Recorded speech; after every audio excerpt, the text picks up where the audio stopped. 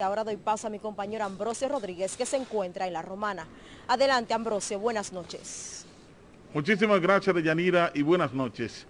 Aquí en La Romana, el director de la Defensa Civil, José Pelegrín, dijo que está todo listo para cualquier eventualidad que pueda ocurrir durante el paso de la tormenta Gonzalo. Del lunes estará afectándonos de continuar esa trayectoria. Estaremos observando estrictamente su movimiento, ya que hasta ahora el pronóstico es que, que va a pasar al sur de nuestro país. Ambrosio, ¿estarían listos los albergues en caso de que tengan que evacuar algunas zonas vulnerables?